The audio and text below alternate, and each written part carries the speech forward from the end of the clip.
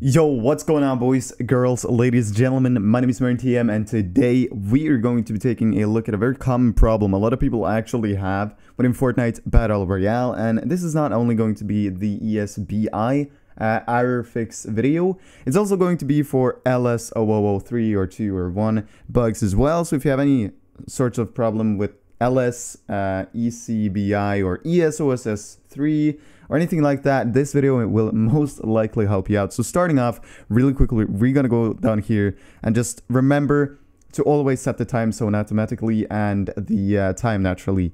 Uh, but this won't really do anything unless you have it on something else because Fortnite won't be able to syn uh, synchronize your game and stuff like that. It's just it's just a whole mess, everybody. It's weird that it doesn't work. Fortnite isn't really optimized that good uh, nor the launcher naturally, but this is what's actually going to help. So what you want to go ahead and do is go down on your keyboard and click on the Windows key. You can also search here and uh, from now on, please listen carefully.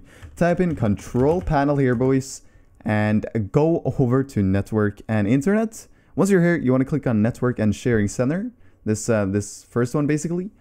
And uh, once you're here, you want to go over to the left side here and click change adapter settings. Once you're here, you will see the internet you're connected to. If you're connected to Wi-Fi, you want to right click on the Wi-Fi, but if you're connected to Ethernet, click on Ethernet and then right click and go on properties. Go ahead and click yes. And once you're here, here comes the fun part everybody. Go down to Internet Protocol version 4 and click on properties once again.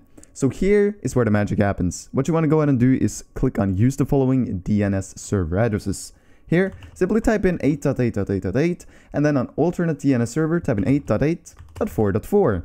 The reason for this actually working um, is basically because Fortnite won't be able to pinpoint a location to send ping or something to.